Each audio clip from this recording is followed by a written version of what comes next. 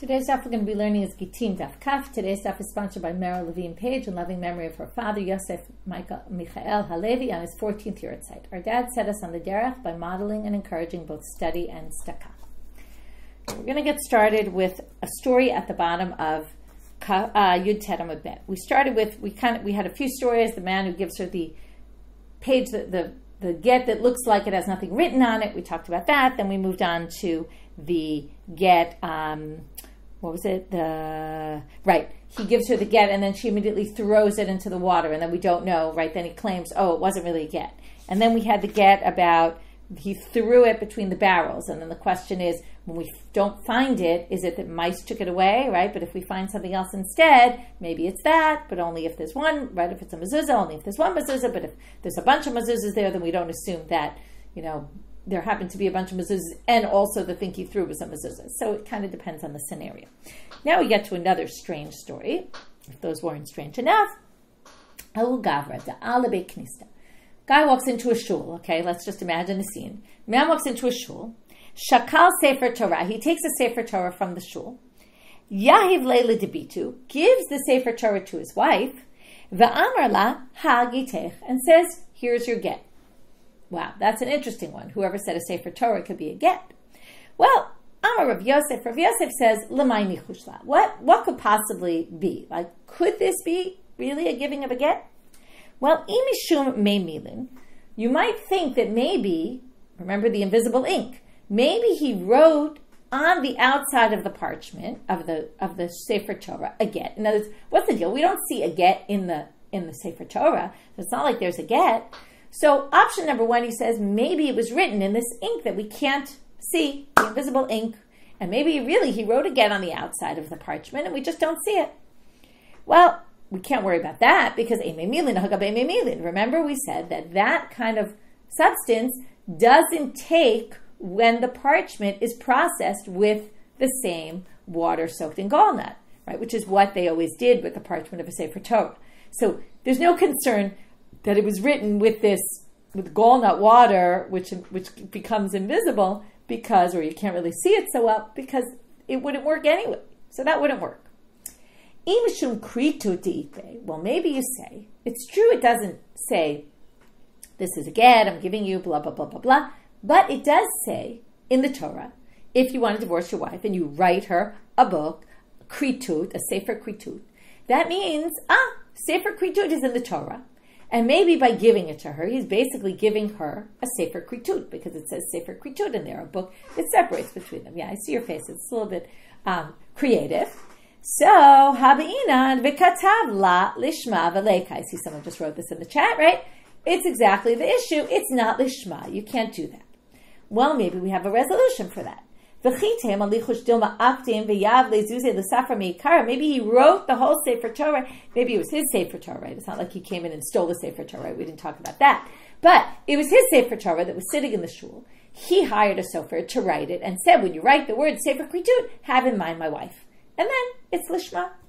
Well, that's not going to happen because habi'inan shinash shmo ushma ushemiro v'shemira has to have his name, her name, the name of the city, his city, her city has to have everything there, veleka, and this clearly doesn't happen. So now I think, I mean, in fact, I saw most of you came up with these issues already, and I saw in the chat, and this is kind of obvious. So Rav Yosef, my Kamashmalan, what was he really trying to teach us in telling us this story and telling us all these possibilities that were quite clear this wasn't going to work? She'en me'milin al gabe me'milin. Well, the first one was not one you probably thought of. And that's what Rav Yosef wanted us to know, that you can't write with this gall, this water soaked, with uh, gallnuts soaked in the water. You can't use that water for writing on if the parchment was processed with gallnut water, and that's what he wanted to teach. Okay, interesting beginning of the daf. In general, there's a bunch of interesting, strange things in the daf today. Amar Rav Chisda. Get shelo lishma. Let's say the get was written shelo lishma. Now, before I even start, we have to remember yesterday's daf. Yesterday's daf, we had a whole discussion. Can you write with ink on top of other ink? Right? The get's written already, you want to put ink on top of ink. And we said ink on top of ink, if it's the same kind of ink, definitely doesn't work. We had a question, maybe black on top of red, maybe that would work, but ink on top of ink doesn't work. Now, this sugya seems to indicate the opposite. it's going to be a little confusing, but it's a little bit of a different situation, and we'll talk about what the differences are. And there also we saw that when it comes to writing on Shabbat, you're not liable if it's black on black, for example. Okay, so it's also not writing. But this sugya seems to indicate otherwise. Amar Chisda, get shalo lishma. Now the issue here is not that your get was written and you write on top of it, but the get was written shalo lishma. It was written without lishma. So it's written for Yosef and Miriam, but it wasn't written for this Yosef and this Miriam. alav kumus lishma. And the sofer, basically, instead of writing a whole new parchment, he takes the same parchment and he puts ink over it and writes lishma.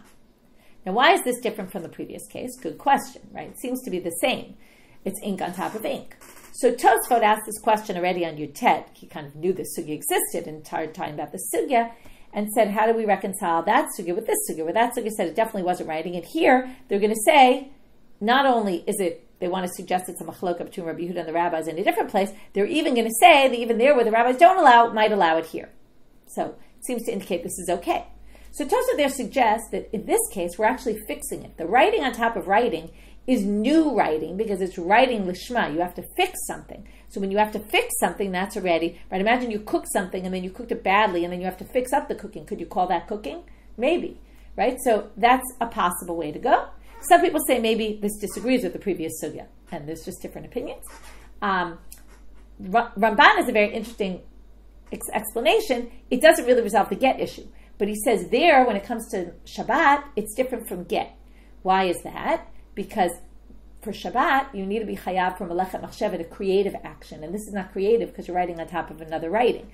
Whereas for get, you don't need creativity. It's not the right. It's not the requirement of get, and maybe that's why it would work. But it doesn't really resolve why the get there also seems to be not good. Anyway, there's a lot of things to be said about the sugya, but I'm going to learn the sugya anyway. And remember, there's this big question because really how it jives with the other sugya is not so clear. And it's kind of surprising the Gemara doesn't start saying, well, how does this jive with what we saw yesterday? In any case, let's get back to our case. So you basically didn't do it lishma, the sofer. Then he does it again lishma. So now, banu lemachloket Rabbi Yehuda v'Rabbanan. It's the same machloket as Rabbi Yehuda and the rabbis when it comes to writing a sefer Torah. Ditanya. Now there's a halacha also of lishma when you that when you write lishma, when you write uh, the names of God, you have to have intent about writing the names of God. Now, the name of God is spelled in the Torah, right? A yud and then a hey and then a vav and then a hey. So it's very similar to the word Yehuda. It's just without the dalet. So now they say, Ditanya, You're up to the part, you're a sofer, you're writing the Sefer Torah, you're up to the name of God, but in your mind you think for a minute that you're writing Yehuda. Nitkaven lichtov Yuda. So you have the wrong intent. Now, while you were writing Yehuda, maybe you call this a Freudian mistake or something, right? You you actually write the, the name of God. You forget about the vav, and you write it, and it comes out the name of God. But you didn't intend for it to be the name of God. No, it's supposed to be the name of God there, but you didn't have the right intention. So what do you do? You sanctify it by redoing it, but redoing it doesn't mean erase and do it again. You just write on top of it. Okay, that seems to see this say this works. Rabbi Yehuda. וחכמים אומרים, אין השם מן המובחר. You can't write God's name in this way. So we have a machloket. And basically what Rav Chisda said is, it's probably the same machloket by get. Same thing, if you write the get shalom lishma, can you write on top or not? That's Rabbi Yehuda and the rabbis debate. But now, Amar Rav Acha Bar Yaakov Domalohi. Rav Acha Bar Yaakov says, no, maybe this isn't the case. Agkan, Now, It, by the way, if you went with the rabbis, and not Rabbi Yehuda, you could just say that the whole sugya before was the rabbis and not Rabbi Yehuda, and then you would resolve it. But Rav Acha clearly, again, if you assume it's the same thing, he's clearly going against the sugya there, and that's what one of the Rishonim says. So Rav Acha disagrees with the Gemara there. Dilma lohi ad kano kamer rabbanan hatam to be inan livan veuvelek aval hachalo. Get it's not a problem at all. It's only a problem by a Sefer Torah, according to the rabbis. The rabbis would say by get it's totally fine. Again, that's really what contradicts our previous sugya. Because in a Sefer Torah, there's a special halacha of ze'eli vanveyu. You have to beautify the Torah. Now, when you write on top, right, you ever fix something, you write something, and then you write on top of it again, it never looks the same. It's not beautiful when you do it like that. And it's also, you could say also, like, do it right the first time, right? When you're going to do something right, do it right the first time. It's not appropriate to have a Sefer Torah where you wrote on top of it. But that doesn't exist by get. The get doesn't have to be beautiful. No one ever said that. It has to be effective. So maybe by get, you wouldn't need that, and you really could do this. Amar Rav Chisda. Another strange statement. If I wanted, I could disqualify all the gitim that exist in this world. Okay, what's going to be even stranger about the fact that he makes this statement is we're not going to be able to figure out what on earth he meant by this. We're going to try. Rav is going to make two attempts to try to understand what he was talking about, but in the end, both are rejected, and we're not going to really end up understanding why he said this. So Amalei Rava, Rava said to him, "My time. What's the reason?" Ile mamishum dichtiv v'chatav v'hacha i kakatvala. This is going to be a very interesting halacha that's at the background of what Rava is saying. Who's supposed to pay the sofer for writing the get? The man or the woman, right? What would you assume? The man. He writes the get. V'katavla, he needs to write the get. So you would assume that means if he's not going to write it, he's going to pay for it to be written. However, what's the problem? The problem is if you make the husband write the get and pay for it, well, maybe he won't do it. So the rabbis actually, it's so fascinating, right? They want to protect the women, but in the end, the women have to pay, right? So in order to protect women from not being agunot, you see all the time they're thinking about this, they instituted that women have to pay the sofer to write the get. And which is really a little unfair to them. On the other hand, it protects them because otherwise the men would just not pay the money and you know live happily on their own, marrying another woman, and the woman would be stuck without a get. Because remember, those days you could marry more than one wife. So Rava says, is it maybe because it says, in other words, in the end, based on the rabbinic, um, based on the rabbinic decree of the women have to pay, it doesn't do what it says in the Torah. Maybe that's what Rav Chisda means because v'chatav, right? It says in the Torah, you, the man, has to write it. But here, she's the one writing it again. It's not her, but she's paying for it. But that's not a problem. Why is it not a problem? Because there's a concept in halacha called hefker beit din hefker. The beit din has the rights to arbitrarily. Okay, usually, they hopefully they wouldn't do this arbitrarily, but take things that belong to one person and put them in someone else's domain or, or make them ownerless. In this case, it's actually passing them on to somebody else, which is a little more than the average hefker beit din hefker. But it means they can decide that your money is not your money if they wanted to. So that means that every get, basically, it's as if when the rabbis institute this takana, the woman has to pay. What it really means is the woman pays the sofer, but it gets transferred into the husband's domain.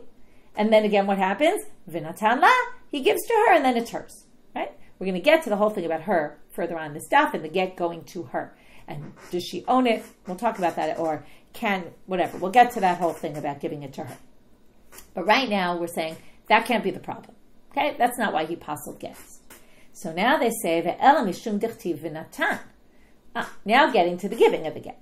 So now it says he has to give her. Now, what does he give her? He gives her a piece of parchment with a bunch of words. In fact, he could give her we're going to see this in a minute, right? We saw this in the Mishnah. He could give her on a, a leaf from an olive tree. Is that worth anything? No. Now, when it says in the Torah v'natan, generally that means he gives. You have to give something of value. So, he doesn't give her anything of value, right? Because he could give her a piece of paper that's worth nothing with some words on it, so it's a get, but it doesn't have any value. Well, Dilma not Geti, no, maybe when the Torah says give it to her, what they mean is give her something that has the words of the get written on it, which is what you and I would have thought without reading this. You wouldn't have thought give her a gift. Whoever said that. No, that's not a problem. And not only that, how do I know he doesn't need to give her anything of value? Because Teda de they sent this letter from Israel to Babylonia to teach us a halacha. And it said. If you write on something that's forbidden to benefit from, now something that's forbidden to benefit, right, let's say it was used for avodah zarah purposes, so I can't benefit from it at all. If I can't benefit at all, what value does it have on the market? Zero. It's worth nothing because can't do anything with it. So if you write her on a get that is worth nothing, basically, because it's a sorba it's forbidden to benefit, it's actually a good get. So you see that there's no requirement at all for giving her something of value. So that can't be what Rav Chisda was saying. And in the end, we really have no idea why Rav Chisda made this strange statement of, I could have disqualified all the gitim. Now, since we already mentioned this, we're now going to go into this line. Shalchumitam, they sent from there, katavo lisureana kasher. So now, Amar Avashi, why are you saying this? Afananamitanina, it says so in an explicit Mishnah. Al ha'alesh shel zayid. Our Mishnah says you could write on a leaf from a from an olive tree. How much is that worth? Nothing. right? I have an olive tree outside. They're teeny leaves. You don't recognize olive trees, right? I mean, if you live in Israel, you definitely know what they are. Other places as well, but they're very small. First of all, the whole concept of writing on an olive tree, on a leaf of an olive tree, is very strange. The leaves are teeny, maybe fig, but you know, big, but or grape leaves, but olive seems very weird. But anyway, we'll get to this. So they say no. If you're going to write on one of those, is even though it's not worth anything, you theoretically could it, it, it could be combined with other leaves. Imagine you make like a string and you string together a whole bunch of these leaves, and with that you write the get. If you take all those leaves together, they might actually be worth something. All they have to do is be worth a pruta for it to be something of value. So that's why you can't necessarily learn it from a Mishnah, and that's why they had to tell you really it doesn't have to be on anything of value, even though maybe you would have learned it from the Mishnah, but it's not 100% clear from the Mishnah. Tanya. Now we're going to talk more about this halacha. Not only did they send this letter from Israel, but in the time of the Tanaim, already Rebbe said this. Rebbe Omer, Ketavo Surayana Kashil. He said this halacha. Nafik Levi, Drasha Mishmei de Rebbe, Velo Kasura. Levi went out and darshan this in the name of Rebbe, but people didn't accept it. I'm like, okay, very nice you say this in the name of Rebbe, but okay, we're moving on. Mishmei de v'kilsua. But that wasn't good enough for him. He really wanted to make sure that they kept this halacha, or that they knew this halacha, that it's okay to do this. So he then said, actually, I learned it in the name of many rabbis, not just Rabbi. And then they actually accepted it. Alma, what do you learn from here? This must be the halacha, because Levi wouldn't have gone so far as to push this issue if it wasn't really that we passed in this way. Now, that was an aside about writing on Yisrael Now we're back to the writing of uh, other things about the writing of the get. Tanu Rabbanan v'katav v'lo chakak. According to the Braita, it says you write it, but you can't engrave it. Okay, so now they say if you write it, but you can't engrave it. So Lememra the chakika lav ktivai. Are you trying to say the chakika is not writing? It can't be etched in. Okay, you can't um, carve it out, chisel it. So now they say, Uriminu, what do you mean? We have a source that says the following. Eved שיצא בכתב שעל גבי טבלה, ופנקס, יצא לחירות. If an Eved, a slave, which we already compared his document of emancipation to a get of a woman, and he goes out with writing on a tavla, like a, a wooden block that was, or a pinkas, okay, some other type of book type thing, which is chiseled out, it works. So what do you see, right? Avalo bichtav, what can't you do? It doesn't work as what's considered writing. Chiseled out stuff is considered writing. What's not? Lo bichtav shagabe kippah.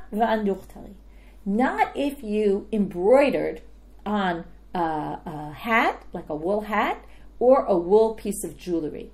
No, wool jewelry is, but apparently they had jewelry made out of wool. If you embroidered the wording, imagine, right, taking doing embroidery and writing the wording of the get, that doesn't work. But chiseling, that works. So what do you see here? How could you say? The Braita said, katav lo chakak. This seems to say it's totally fine to do chiseling. Amar Ulla Rabbi Elazar lo kashya. There's two ways to chisel. Ha dechak tochot, ha dechak yerechot. One way of chiseling is taking out the insides of the letters, which means that the letters are going to be jutting out right? If you erase the inside, right, and the and the outer part of the letter, then the letter ends up going outward. That's not called writing. Why is it not called writing? Because the part that you're actually chiseling is not the letter. It's to make the letter appear, but it's not actually the letter. That doesn't work. That's the bright. But the other one we quoted about the Eved with the Tavla, that's dechaki rechot. It's where you chiseled out where the letters are supposed to be. So that's kind of just like writing the letters. You're just kind of removing them from the parchment, and that works. To which the Gemara asks, "V'tochot lo." What do you mean? You can't actually take out the inside of the letters and have it going outside, and you know having it jet out. That should work. Uriminu. Now we're going to talk about the tzitz. Okay, before we go on, the Gemara should have told us this right at the get go, but I'm going to read you a pasuk. It actually comes up on the Amud Bet. In Shemot chapter 39, verse 30, it says, Vayasu et tzitz hakodesh. This is the the tzitz, the the head plate on the forehead of the Kohen Gadol. He wears this. It's made out of gold, zahav tahol, pure gold. Vayichtivu alav michtav chotam kodesh Lashem. And they write on it the letters, okay? The letters, it's it's etched, it's chiseled in, kodesh Lashem. Those words appear. Now, how did they chisel it? So it says here, They didn't chisel it in, okay, like we just said. Ella bolet kedina rezahav. They compare it to coins. What happens with coins, right? The the the the design, the face or whatever it is on the coin, juts out. Okay, so now we're going to say, how does it jut out? Right? It's not in engraved in. It juts out. So the tzitz, the letters, went outward. So what do you see here? It says it has to be written, and yet it works even if it juts out. Now we assume, how did it jut out of the gold? Because you basically you were uh, you chiseled out the empty right? Or again it's gold. You didn't chisel but you knocked in the empty parts. And the other part basically um, stuck out. So now they say um, no.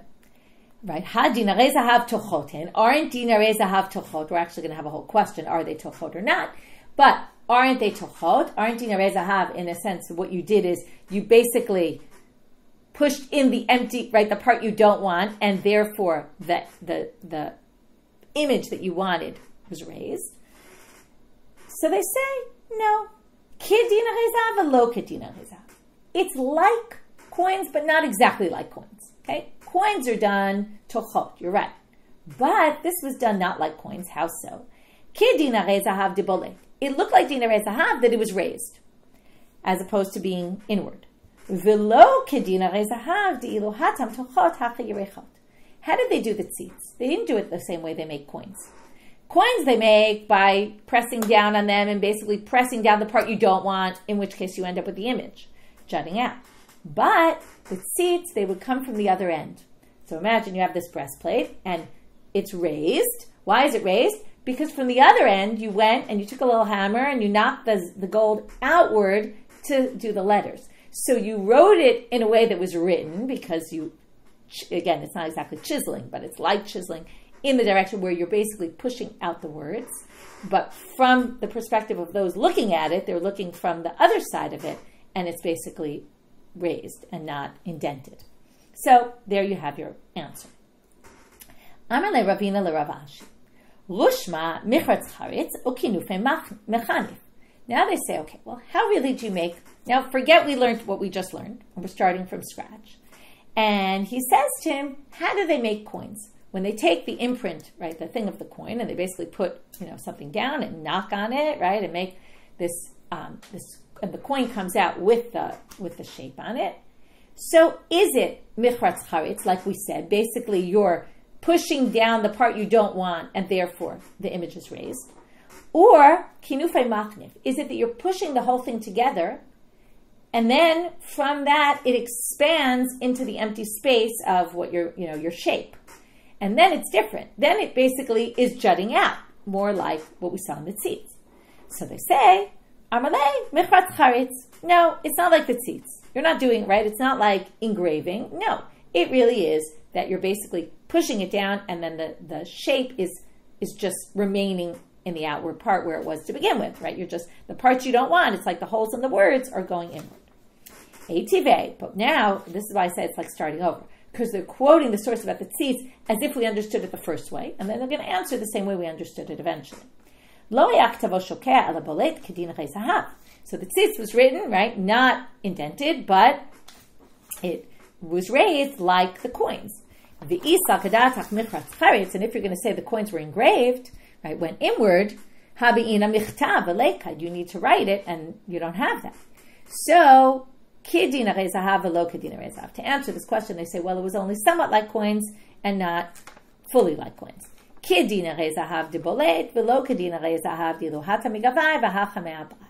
It's like the coins, but it's not really like the coins because when it comes to the coins, right there it's from the outside, and here uh, there it's from the inside, and here it's from the outside. And right when again when it's the coins, you're pushing from the outside, pushing in, right, and here you're pushing from the inside, going outward. So it's done in a different way, and therefore that's not a question. Okay, new question. We're really getting into all sorts of strange things in the stuff. Katav la get al tas shel zahav. He writes her a get on a beautiful piece of gold, maybe because we were talking about the tzitz, which was gold, so they get into gold here.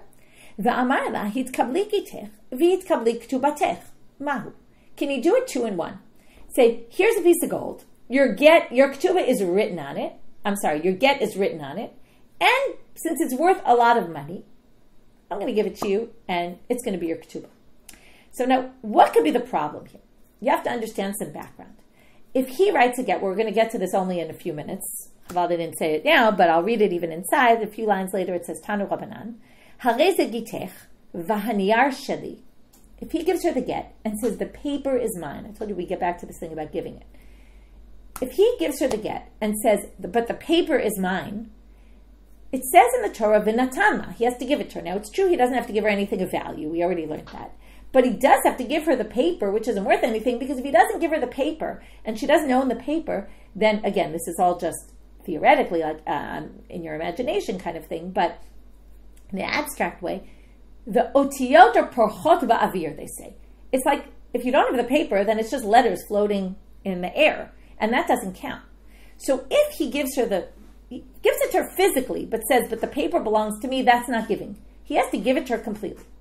But in this case, he gives it to her completely, but he's separating the words from the paper or the gold. He's basically saying the gold and the background is your tuba, and the words are your get. But she does get to keep it all. So does that mean they're porchot ba'avir because you're separating them?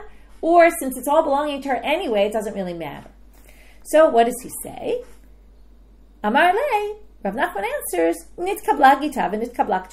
This actually works because in the end, she stays with it. We don't view them as if they're floating because it all has one owner. It's not like he owns that and she owns that.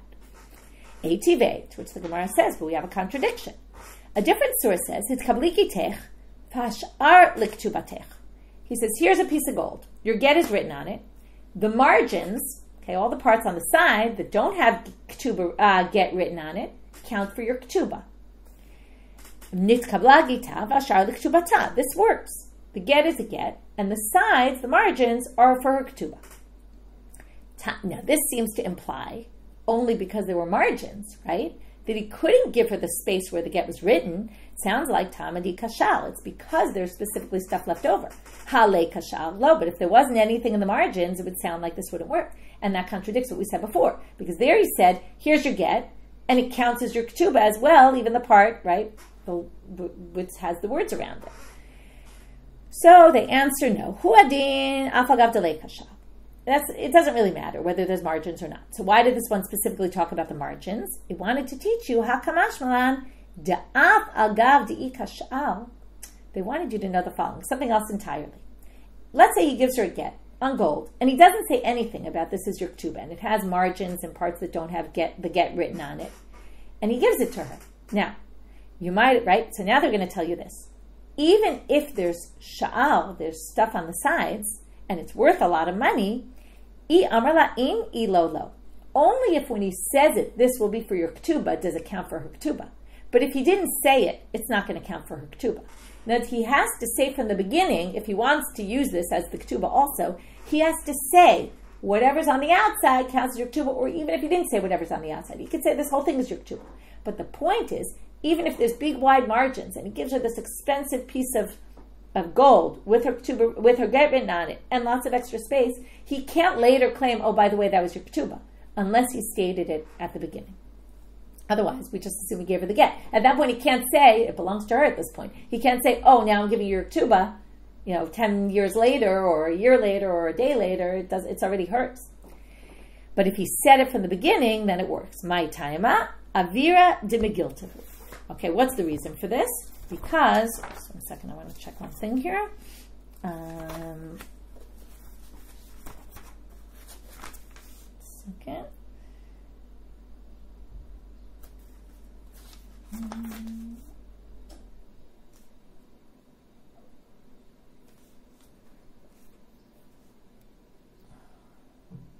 Right, because the because we don't view it as a piece of gold, we view it as the airspace of the Megillah. Okay, basically the holes and the, the, the lines in between are just part of the airspace of the Megillah, and it's not it's not at all considered a piece of gold that he could say was used for something else. Again, unless he specifies it from the beginning. And it's not a matter of intent, it's a matter of wording. This is a get given to you under condition, right? I'm giving you this gift or this item, but know that this item has two parts to it. This counts as this and that counts as that. Whereas if he doesn't state that, then it, he can't claim it is, even if that was his intention. Tanu Rabbanan.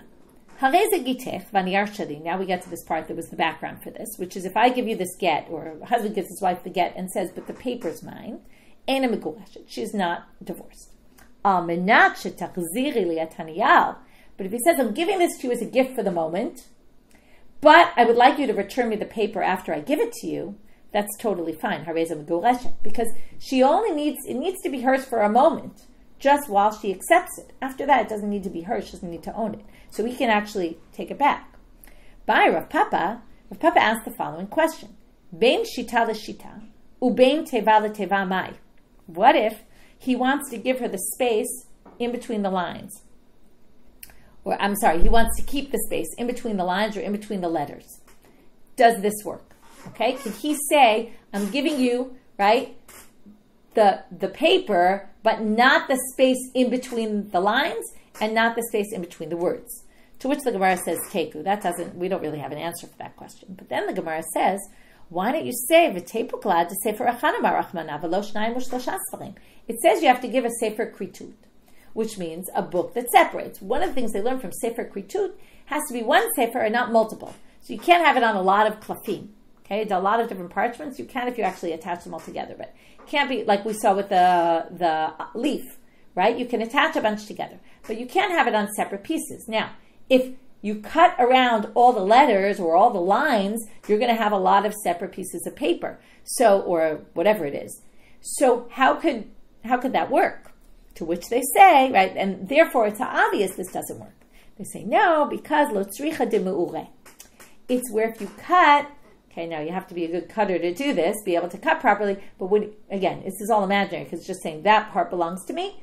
But in the Hebrew language, you have kuf, which goes all the way down, and you have lamed, which goes all the way up. So there aren't really spaces in between the lines. So you would have to end up, you know, cutting in and out, in and out, and the whole thing would actually be attached. So if the whole thing would actually be attached, then we have the question, and then we're left with this question. Okay? I see the comments about, you know, what kind of guy is this and what kind of crazy situation. Again, I think that for the most part, although we did have this actual case where the guy actually gave his wife a Sefer Torah and said, this is your get. So it's hard to say this is all theoretical, but I imagine that most of these situations are, are somewhat theoretical. Um, and they're really just trying to get to conceptually what's the idea of what is he, again, it goes back to before where they even suggested maybe he needs to give her something of value, right? But he doesn't. But he does need to give her wording on something because wording floating in the air is nothing. So she does have to receive something. The question is, where do we draw the lines? And that's really what they're trying to get at in this part. Okay, we're going to end with two questions, and then we'll do a summary of the daf. By Rami Barchama. Rami Barchama asked the following question. Hayu muhzakim. Okay, we're now in a totally different. But why are we here? Because the Mishnah talked about the slave. You can write it on the arm of the slave and give her the slave. So now, what if we have a situation where everybody knew this guy was the man's slave. Viget katuva yadon. We find the Eved. Number one, we find he's got a get on his arm. A, a get for the woman, right? Not a get shichrur. We're talking about a get, a divorce document. And right now, the Eved is found in the woman's possession. Husband and wife are obviously living separately right now, and the Eved is found in her possession. But what's missing? Nobody saw the get be given from the man to the woman. Now, it's a slave. Slaves have legs, they can walk, right? If it's a piece of paper and it's in her property, we assume she received it from him. But if it's a moving animate object, right, or person, maybe the person moved by themselves. So we don't know. Did she receive the get from her husband, or did her husband write the get, hasn't yet given it to her, and it happens that Eved went over into her property? Mahu. Mia Marina, do we say? He really did give it to her. Because remember, he not only does he have to give the Eved to the woman, but she gets to keep him now, right? Another noten la to Eved. So, Odilma, who She'ael? or maybe he went by himself. I'm a Rava, Vitipoko. Now, Rava says you got a bigger problem here. If you wrote the, now, he seems to be ignoring the Mishnah, but let's get, the, we'll deal with that in a minute. But if you wrote on a slave, what's the problem? Well, remember we talked about you can't have a katav she'acholiz dayef. You can't have it written on something that could be forged. You could erase it and you would never notice, right? It has to be on something that you will notice if someone erased something and then you'll know it's forged. So, if you write on a person, you can erase it entirely and write it, you know, change something, which means that it could have been there was a condition written here and it's no longer here. And then you can't go on this get because you have no idea. Maybe he wrote a condition and it disappeared, you know, and the, the, the Eved or someone rubbed it off and, you know, it, it's not, it, this doesn't work at all. So they say, what kind of a question is this? Al Yayad Shel Well, then the Mishnah makes no sense. The Mishnah says you could do it on Yad Shel So, Rava, how are you going to deal with that? They say, Bishlam Amanitin L'Rava Lokashya. Beidim Esira V'Rabbi Elazarhi. Rava could say the Mishnah works if you give it on the hand of an Eved, and you give her the Eved, you give her the slave, is only if there's witnesses that watch this whole thing. And just like we saw about the blank paper, you know, the witnesses would have read, seen what's there, they would have seen that there's a condition, or if there's no condition, they'd see there's no condition, and all is good. So who cares? It doesn't matter if the writing could be erased, because we hold like Rabbi Elazar. You'd have to say he holds like Rabbi Elazar. That's how he understands the Mishnah, and it's where there were Edei Masira. But our case, we already said, is a case where there are no Edei Masira, and that's why Rava asked the question specifically here, but not on our Mishnah. Now they say, but still, Rami Barchama Kasha. But according to Rami Barchama, this is going to be a problem. How's he going to answer this? So they say, L'Rami Barchama Nami Lokashya, and as Rami Barchama was the one who asked the question. Why are we worried, Rami Barchama, this is a Ktav Shecholiz Dayeh, that you could forge? So what does he answer? A very interesting answer. Big Tovet Ka'aka. It's where he was tattooed with the get. Now why is this a very strange answer? Because it's forbidden to tattoo by Torah law, even on your slave. You can't tattoo because slaves, remember, are obligated in all negative commandments. So it would have to be a case where someone went against the law, tattooed it onto the slave, and now the slave is in the possession of the woman, and the question is what? And we're not worried. It could be for it could be you know erased, and someone could forge something because there's no way to do that when it's tattooed. So now they just point out Hashadati hashidati lahafia. Already you're going to say that matniti nami lo kaka. You could say that the Mishnah was talking about ktovet kaka. Anyway, my havela. But what's the answer to the question? Tashma da amarish lakish hagodrot ein lahem chazakah. Reish Lakish says about animals that because animals move around, you can't claim when it comes to land. If I live in land and you don't complain for a while, I can claim right. It's three years, but you, I can claim this land is mine. If you haven't complained in three years, the fact that I'm living here shows. But if an animal is in my possession and you claim it's my animal, and we have proof that it was your animal before, and we don't have any proof that you sold me the animal or something like that, then the fact that the animal is in my possession is irrelevant. Why is it irrelevant? Because the animal could have gotten there on its own as opposed to an inanimate object which doesn't just appear in my house magically. So obviously the Eved is going to be the same. If an animal, all the more so a person. So therefore, we actually don't assume that she's divorced. By Rami Barchama. Last question, and for this we're not going to resolve it today. We're going to get to a big women's issue, although it's a bit of a debate whether this is a women's issue or not. The Sugya is going to go into that. But here goes our question. Again, he needs to write the get, which again we said she pays for it, but it has to be on an object of his. You know, when you go to a wedding and they always ask, I don't know if you know this under the chuppah, right? They always ask the groom, did you buy this ring? Is it yours? It has to be owned by him in order for him to give it to her. Same thing here. He needs to own the thing it was written on. Now, if it was written, everybody knew this tablet, that it was hers. Okay? Everybody knew it was hers. It was maybe some unique something, and everybody knew that. V'get katuv. And now we find this in her possession. Okay. She is no longer married to him, right? It seems, and she's got this tavla that was hers with a get written on it, but it was hers, not his. So does it work? Mahu. Because if in the end it was owned by her at the time he gave it to her, then he didn't give her anything because he gave her something that was already hers. So do we assume? She must have given it to him and said, I'm giving you this tabla as a gift. It's yours. Then he wrote, he had it written on. Again, she paid for it to be written on. And which we already said the rabbis gave rights to that already to the husband. but the rights to her tavla they can't do. So that was hers. So when she gives it to him as a gift, and then he gives it back to her, that should work, right? Or oh, Odilma, now here the word appears here in parentheses.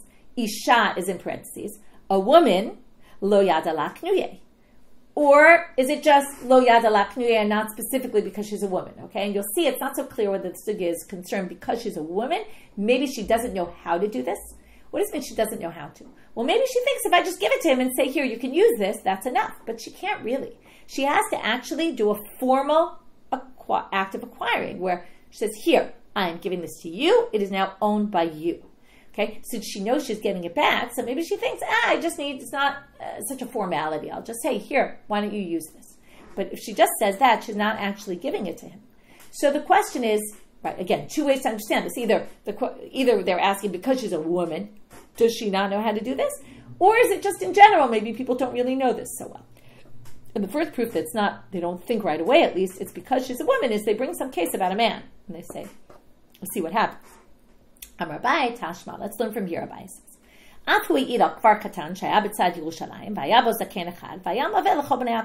So someone gave this testimony about a small village that was on the side of Jerusalem, and there was this elderly man who loaned out money to everybody. And he would write the documents. Now, in general, it's supposed to be the loveh who writes the IOU.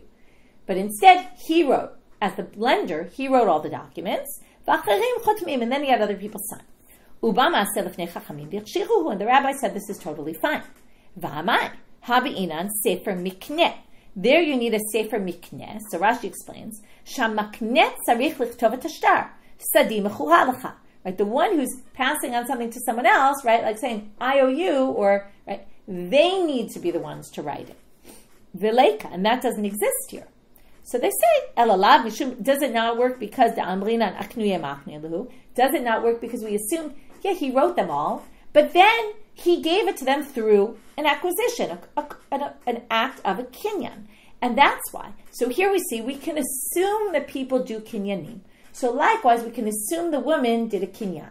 Now you might say, why did I bring up this whole woman's issue? Well, you're going to see tomorrow that some of the sources say, well, maybe it's a difference of a woman, and we'll, we'll get to that tomorrow. Um, and I'll leave it as a as a you know in suspense about what they actually say about women. Do they know this halacha? Do they know they need to do this or not? So, quick review of our daf. We started with the story of the man who gave the Sefer Torah, and Rav Yosef gave three possibilities about what could what could maybe we have thought that it would work, but obviously it doesn't work. We have Rav Chisda who said, "Can you write on top of the lettering?" Right, it, to do it lishma when it wasn't on lishma in the first place, or not? Is it the same machloket as Rabbi Yehuda and the rabbis when it comes to the Sefer Torah? Rav Acha said, no, it's not the same thing. Even the rabbis would agree there it might be a problem, but here it wouldn't be a problem. And then we talked about how that connected with the previous sugya, which seems to say it doesn't work at all. Rav Chisda then said, I could disqualify all Gittin, but that didn't work because we didn't know, oh, not that it didn't work, it's just we didn't ever understand what he meant. Rava gave two explanations, but they were both rejected. Then we went into the whole thing about writing because he mentioned it. We went into writing on something that's not worth anything, um, and then we talked about that. Then we went to the thing about katav lo chakak. What does it mean lo chakak? Chakak is a problem only if it's done where you where you chisel out the empty spaces and end up with the letters raised but not the other way. The other way actually works as writing, and then we compared that whole thing to the seats and the coins, and we talked about that whole issue. Then we got to writing the get on gold and then giving her the gold as a tuba. Which case does it work? In which case doesn't it work? What does he have to say? Does there have to be in the margins? No, they really don't. It's you're not worried about otio porchot because in the end it all goes to her anyway, and yet could still count as her tuba. Then we had um, if he keeps the paper to himself, though, that's a problem. We asked that question about between the lines. What about that? Then Rami Bar asked these two questions about the Eved is found in her possession, but we don't know whether the husband actually gave her the get. In the end, we say it's not a get because we need Edei Masira, basically. And we need to know that the get was given. We have no idea. He has feet, he walks on his own. He could have gotten there on his own. And the last thing, which we're left with, is if the object that he gave her was hers, it's a problem. So what if we don't know whether she actually gave it to him in a real act of acquiring or not, can we assume it was done the way it was supposed to be done or not? And we're in the middle of that question. And as I said, the question is really do we suspect because she's a woman or maybe not? Maybe we just suspect people in general that they don't really know these halachot. with that, we finish today's daf. Have a great day, everyone.